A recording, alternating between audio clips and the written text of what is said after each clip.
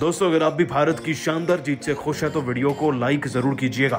दोस्तों, जीत के बाद रोहित शर्मा ने जडेजा से लेकर कोहली तक पर कुछ ऐसा कह दिया कि सबका दिल ही जीत लिया। आखिरकार इतनी विशाल का जीत पर क्या बोले रोहित शर्मा? ये सब तो आपको बताएँगे ही, लेकिन उससे पहले आप सभी को क्या लगता है? इस मुकाबले में भारतीय टीम किसकी वजह से जीती? जडेजा, ऋषभ पंत या अश्विन नीचे कमेंट करके ज़रूर बताइएगा। दोस्तों, भारत और श्रीलंकाई टीम के बीच में सीरीज़ का पहला टेस्ट मैच भारत की भीमकाय जीत के साथ आखिरकार खत्म हो चुका है। आपको बता दें कि इस मुकाबले में भारतीय क्रिकेट टीम के हर खिलाड़ी ने आगे बढ़कर जोरों शोरों से परफॉर्म किया। आज चाहे बल्लेबाजी की हो या फिर गेंदबाजी की, अगर तीन दिन में मुकाबला हमने जीता है तो मतलब कि भारतीय टीम ने कितना तगड़ा प्रदर्शन किया होगा? चलिए आपको बताते हैं। तो दोस्तों, सबसे पहले अगर बल्लेबाजी की बात हो तो पहले दिन से ही हमने श्रीलंकाई टीम को दबा कर रखा था। रोहित शर्मा, मयंक अग्रवाल, विराट कोहली और हनुमा विहारी के बनाए गए 200 रन के बाद पंत के छियानवे रन और जुड़ गए, जिससे कि टीम पहले दिन में तीन सौ सत्तावन पर पहुँची।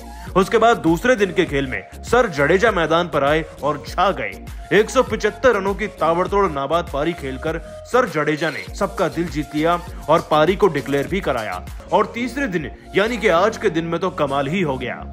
दोस्तों, रविंद्र जडेजा ने तीसरे दिन के खेल में न सिर्फ़ अपना पाँच विकेट का हॉल कंप्लीट किया, बल्कि जब फॉलो ऑन दिया गया, श्रीलंकाई टीम को एक सौ अठहत्तर पर निपटाने के बाद तब भी जडेजा चार विकेट अपने नाम कर गए और अश्विन के नाम भी चार विकेट रहे उस दौरान। लेकिन वाकई में एक मैच विनिंग परफॉर्मेंस हमें रविंद्र जडेजा ने दिया है। दोस्तों, आपको बता दें कि दूसरी इनिंग में भी श्रीलंकाई टीम ज़्यादा से ज़्यादा 178 रन बना पाई।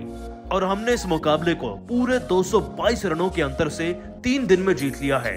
दोस्तों, ये आंकड़ा, ये नंबर हमें वर्ल्ड टेस्ट चैंपियनशिप फाइनल की पॉइंट टेबल में सबसे ऊपर लाने में बहुत कारगर साबित होंगे। और ज़ाहिर सी बात है, ये सब कुछ मुमकिन हुआ है तो कहीं ना कहीं रोहित शर्मा के कप्तान बनने के बाद ही। लेकिन फिर भी रोहित ने जडेजा से लेकर कोहली और पंत पर अपना दिल खोल कर रख दिया और कुछ ऐसा कहा कि सबका दिल ही जीत लिया।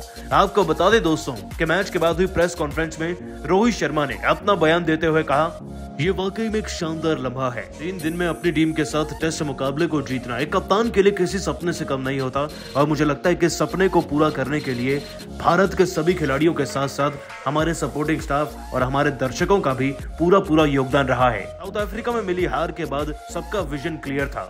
अपनी रैंकिंग से ज़्यादा अपनी परफॉर्मेंस पर हमें काम करना था और हमने बिल्कुल वैसा ही किया।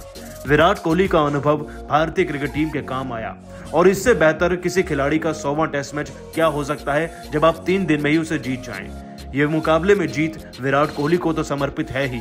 साथ ही हमारे उन सभी दर्शकों को, हमारे उन सभी साथियों को समर्पित है, जिन्होंने साउथ अफ्रीका में मिली हार के बाद टीम का साथ दिया था, खिलाड़ियों को प्रोत्साहित किया था। ये जीत वाकई में यादगार है।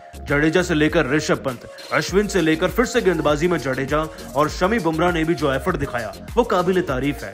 ऐसी टीम के साथ आप किसी भी प्रकार का मुकाबला, किसी भी टीम के साथ किसी भी मैदान में जीत सकते हैं। उम्मीद है कि हम वर्ल्ड टेस्ट चैंपियनशिप के फाइनल को भी जीत कर इस बार सारा हिसाब पूरा कर लेंगे। दूसरा टेस्ट मैच जीत कर भी सीरीज़ क्लीन स्वीप से जीतना चाहेंगे। दोस्तों रोहित शर्मा एक महान कप्तान है और एक महान इंसान भी। अपनी टीम को जिताकर भी सब में क्रेडिट बांट दिया। और वाकई में वो अब तक अनबीटन भी है। क्या वो सीरीज़ को दो ज़ीरो से जीत पाएँगे या नहीं, नीचे कमेंट करके ज़रूर बताइएगा। और ऐसी सभी ताज़ा खबरों के लिए भी सब्सक्राइब कीजिए हमारे चैनल को। धन्यवाद।